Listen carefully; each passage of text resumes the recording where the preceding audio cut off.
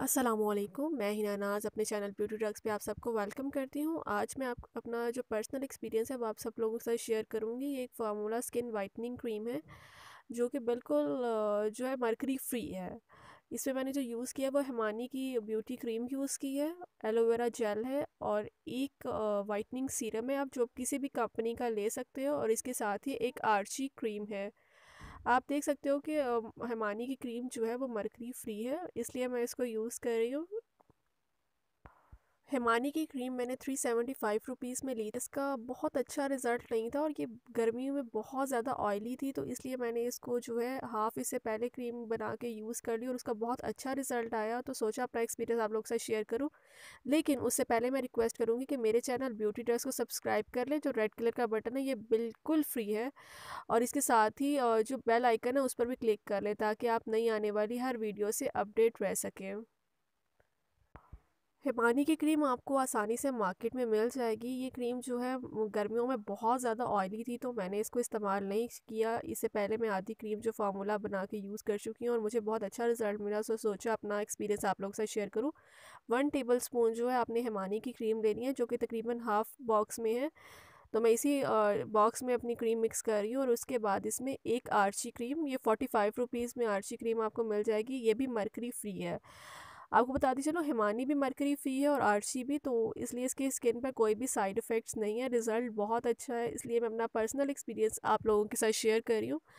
आपने इन तमाम चीज़ों को अच्छी तरह से मिक्स कर लेना है। मैं इसी कंटेनर में कर रही हूँ और मेरे हाथ साफ़ है। आप चाहो तो स्पून की हेल्प से या किसी भी एप्लीकेटर की हेल्प से जो है इस क्रीम को मिक्स कर सकते हो। पूरी आर्ची क्रीम आपने इसमें ऐड करनी है। जिन लोगों को दाग धब्बे हैं, रंगत जो है वो गोरी चाहिए उनके लिए ये बहुत अच्छी क्रीम है क्योंकि आर्ची का बहुत अच्छा रिज़ल्ट है। सो so, आप पूरी क्रीम मिक्स करेंगे तो आपको विद इन वीक जो है अच्छा रिज़ल्ट मिलना शुरू हो जाएगा लेकिन 15 डेज़ के बाद ज़्यादा ग्लोइंग लुक जो है वो आएगा। मैंने आर्ची क्रीम जो है, अपनी Himani cream one tablespoon में ऐड करके अच्छी तरह मिक्स कर लिया। आप देख सकते हैं, दोनों क्रीमें जो है, वो इक्वली मिक्स हो चुकी हैं। और उसके बाद आपने कोई भी वाइटनिंग सीरम लेना है। मेरे पास जो है डर्मा क्लियर का है। ये बहुत ज़्यादा वाटरी है तो मैं इसके तीन से चार ड्रॉप्स ऐड कर रही हूँ, क्योंकि ये क्रीम में मिक्स नहीं होता। इससे पहले मैंने जैनसन का वाइटनिंग सीरम ऐड किया था तो वो ज़्यादा अच्छा था क्योंकि वो पूरी क्रीम में मिक्स हो जाता है। तो आपने उसके बाद इसमें आ, one tablespoon aloe vera gel add करनी है। एलोवेरा जेल बाज़ार वाली आपने लेनी है जो कि कुछ इस तरह की फॉर्म में है। तो इसका आपने घर वाली बिल्कुल भी यूज़ नहीं करनी क्योंकि हम इस क्रीम को प्रिज़र्व करेंगे कुछ दिन इस्तेमाल करेंगे अगर घर वाली यूज़ करेंगे तो क्रीम ख़राब हो जाएगी।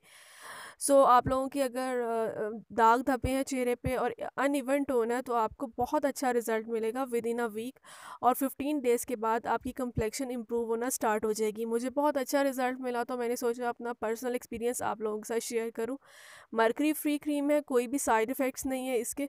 सो so, आप लोग अगर परेशान है कि आपकी स्किन जो है वो गोरी नहीं है और अन इवन टोन है तो उसके लिए आप इसको इस्तेमाल कर सकते हैं। इससे जो एक्नी के निशान है वो भी दूर हो जाते हैं। आपने सिर्फ़ रात को इसको लगाना है एज अ नाइट क्रीम। इसका रिज़ल्ट बहुत अच्छा दिन में नहीं लगाना, क्योंकि कुछ लोग इंस्टेंट वाइटनिंग के चक्कर में दिल में नहीं लगा लेते हैं तो उनकी जो रंगत है ज़्यादा ख़राब हो जाती है। सो so, अच्छी बात बताना सदका जा रही है लाजमी ट्राई करिएगा और अपना एक्सपीरियंस शेयर करिएगा। चैनल को लाजमी सब्सक्राइब करें लाइक और शेयर करना मत भूलिएगा। अल्लाह हाफिज़।